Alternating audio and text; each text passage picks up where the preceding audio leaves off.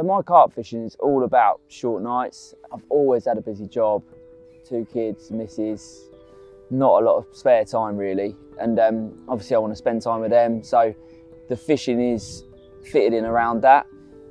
I guess my style was probably adapted because of that over the, you know, 15 years I've been seriously carp fishing. So recently I changed changed job, had a bit of a lifestyle change. Um, managed to get a job within Korda. You know, I've been a sponsored angler for years and um, an opportunity come up and couldn't couldn't pass it up. It's a serious role, like it's been a lot to learn. You know, I deal with the import and exports of, of all the kit, the containers, the shipping documents, the guys in the warehouse, that type of thing.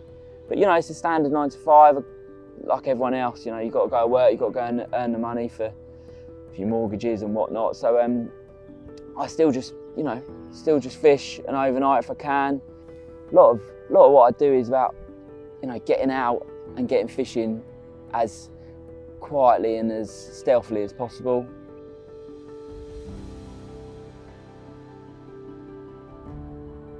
There's a lot of stuff I do that maybe isn't the norm that that really helps me. I think like really light leads, use sub braid to try and like you know, find the spots with your fishing rods, minimal disturbance. Yeah, long rigs. I know I'm always fishing. Lots of things like that I do to try and help me put the, put it in my favour for when I you know do get down to the lake and um, and have my bit of time down there. Really, I'm there to look and take in you know, all the information that the lake's offering, trying to piece that all together to culminate in hopefully a period of angling that I can then capitalise on. And um, yeah, sort of usually how I've managed to get a little bit of success.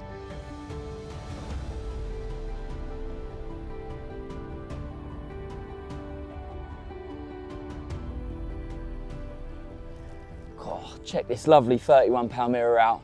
It's the best of three I've had in a quick night. Yeah, absolutely great overnight. So I've got, um, to get packed up now and get to work. Got a meeting today, so uh, yeah, I'm gonna get him back, get wrapped up and get off.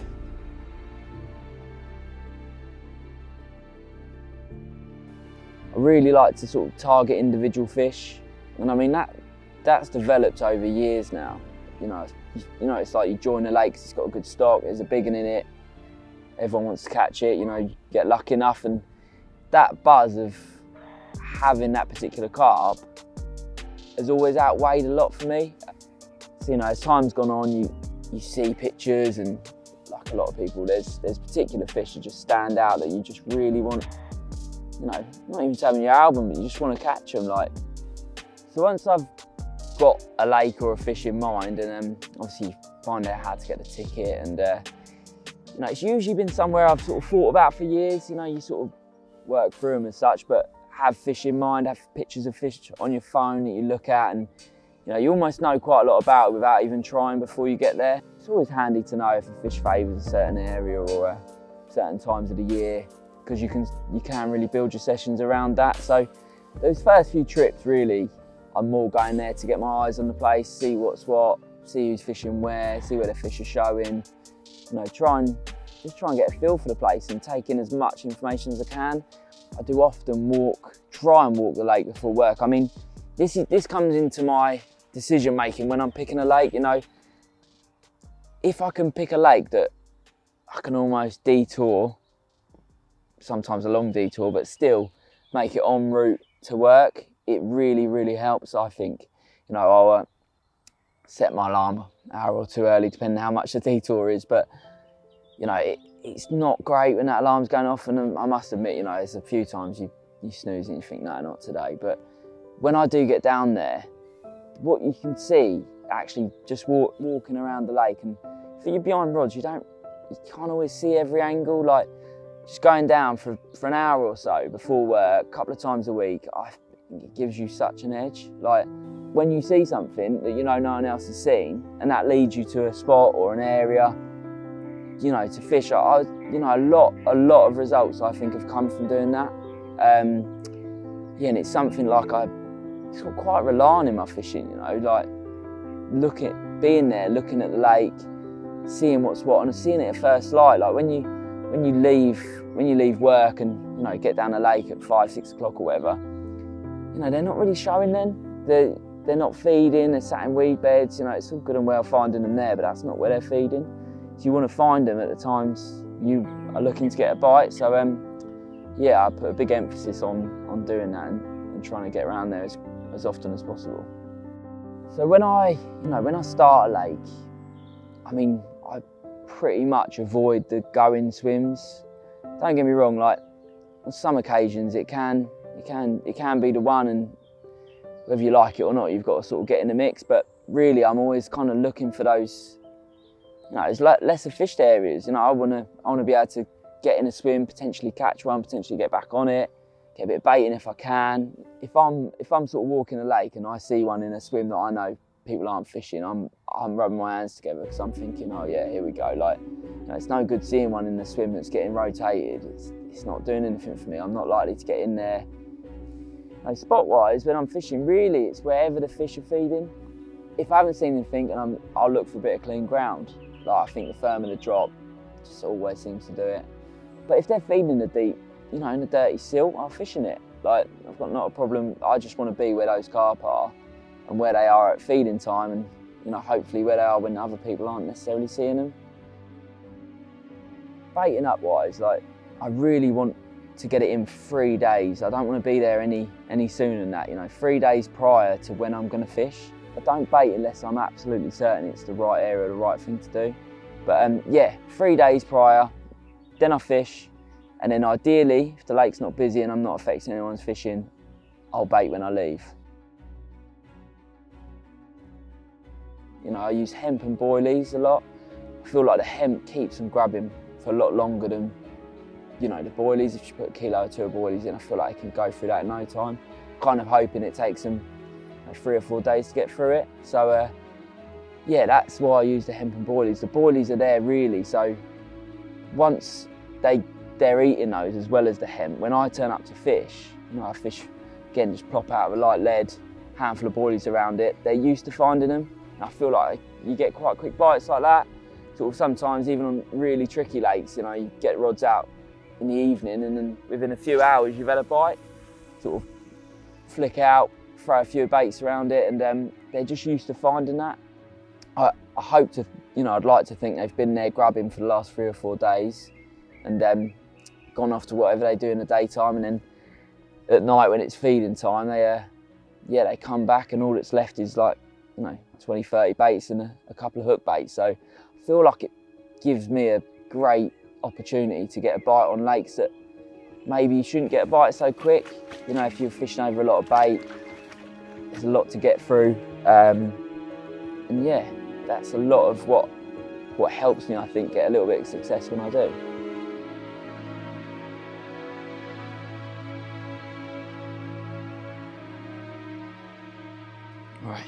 Got down after work, see a few fish showing and I got three Three rods right in amongst them, scattering the boilies, choddies over the top of them with light leads, and uh, yeah, quick bite. This is uh, this is the result of fishing as stealthy as I possibly can.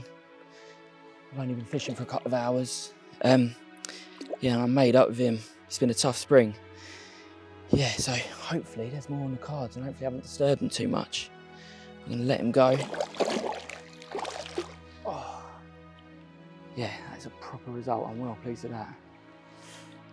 A lot of the time, you kind of know, I think liners, bubbling and seeing what you see, you know if the fish are on the spot. You know, on the odd occasion, it's only very rarely where I've had quite a few fish off an area and then the bites are dried up and you sort of you notice your leghorn, your lead a little bit starting to smell and stuff and I think that's the time then, you know, that area's done. They've too many have been caught off it and it's time to move on. Time to get back around the lake, fish for what you see again and wait for another window of opportunity. Because I do the short nights, like stealth for me has to be at the forefront of my fishing. You know, there's no doubt five, six, four ounce lead, whatever, you know, sure that is gonna hook hook you more carp maybe, I'm not sure. But for me, it's no good me spooking the fish and they're not gonna come back until and I've gone. So I really you know, I really need to get out as stealthily and as quietly as possible. And I will use the smallest lead that will get me to the spot. Not like the time that's, you know, an ounce, an ounce and a half. I don't think, I personally, I'm sure people disagree, but I don't think that the, the lead, especially fishing helicopter style with the bead up, is hooking the fish. I think, with, you know, with Nevis Kamakura hooks, and once they take that, that bait in their mouth, I think when they're trying to eject it is when they get hooked, and then almost I think it helps you with a light lead. They start to, you know, move away. They haven't got anything to use to shake off. I think they're in a world of trouble, and then they just bolt, and you know, I get absolutely screaming takes. And and for me, yeah, just getting out. Like the hardest fish to catch are the fish that know they're being fished for. So I want to get out as quietly and as stealthily as possible. And um, you know, boilie fishing is that is why I boilie fish, and I think that really lends itself to my my sort of approach, my style, my time. You know, and the baiting up, it, it all it all works together. Like I don't think the baiting up would be as effective if I sat on it for two or three days. You know, baiting up, night on it, leave, bait again. They're getting to feed on it freely more often than they're not. And then I'm hoping, you know, once I get there, they're super confident on the area.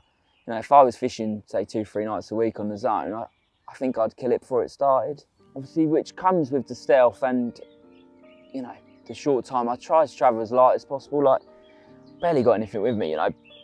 Tank for a cup of tea bit of bait rucksack little brolly you know mats over on the barrow. Like for me I want to spend more time walking looking not worrying about lugging a load of gear around. Like if I need to move I'll move. I fish braided mainline straight through. It really helps like I don't, I don't bring a marker, spod rod, you know, it's, I can find those spots with my fishing rod. Like today we've turned up, it's, you know, weeds shot up and uh, literally had a lead about, light lead with my braided fishing rod, bang, got the clip, wrapped it up, you know, whacked a rig on, and you're out there fishing, like, I don't need to be like spodding, spombing, wrapping this rod, marker rod, I don't, don't need to know the depth. You can feel that through the braid. You feel everything through the braid. You know, I think be so accurate that, that when you fish that sub braid that you are bang on where you wanted to be on. Like there's nothing worse than thinking, was that the spot? Like you want to know that's the spot. And, and fishing with the braid, you really do. Obviously it's extremely tough. Like I don't want to lose anything. You know, fishing for the sort of fish I fish for, the lakes I fish. Like I need to fish strong fish reliable. Um, I want to land everything I hook. May sound a bit extreme, but really like it feels like that. I really need to be getting everything in and you know, I can't be can't be losing fish and yeah, that that braid does it for me. Rig wise, basically all I've got to consider is is it clean enough to fish a bottom bait or do I need to fish a pop-up? Like if I can, I'll fish on the deck. I feel like it's been hammered over the last however many years on pop-ups. And um, yeah, I think I think it's a real edge fish on the deck and sort of results have shown me that, like the fish I've caught and you know, I was lucky enough to catch a mid 40 common back last last summer. I recently had the target I was hoping to catch and uh, was 43 pound mirror, both nailed on the same D rig and caught loads between and barely lost any, like from quite savage battles and stuff as well. So I've got like really you know, super confident that rig now. Usually about 9, 10 inches, IQ2, size 6 Kamakura X, wide gape, and just a D, but I do slight, something slightly different. Just put a bit of silicone up, up the back of the shank. Just extends that D. Like when I sort of see it sat in the water and fish like a, a sort of a weight out a wafter. So it kind of sits, does sink, does kick out, but sits pretty flat and it seems to sit at the top of that D. And I think as the the bait's picked up, that hook just looks prime to be in exactly where you'd want it to be if it was going into a fish's mouth. And like I say, they've all been nailed and like, yeah, absolutely carnage battles on the braid and, and whatnot. So yeah, I've got the utmost faith in that. Like I say, if it's not clean enough and I need to fish a pop up, yeah, I fish a hinge if I'm sort of trying to drop it, drop it in a little hole or whatever. And if I'm fishing over light weed, I'm more than happy to fish a choddy and you can literally get out with the, the most minimal of fuss. So I do, I do use that a lot. So yeah, that's all I really have to worry about rig wise is what's the bottom like, you know, and then I'll just pick one of the one of the two or three accordingly. Basically, all the things I've been sort of saying has, has all sort of come into fruition on here. Finding them, light leads, D rigs, and uh, yeah, such a cool carp, massive mouth. Fish I really, really like the you know like the look of for a long time. So um, yeah, it's moments like that really. It's everything for me. Like that that is why I do it. That's why I put all this time and effort into it. You know, take time away from my family for like for those for those moments, and that's what I'm always sort of striving for and looking for. Like, and when they do come round, it's just it's magic.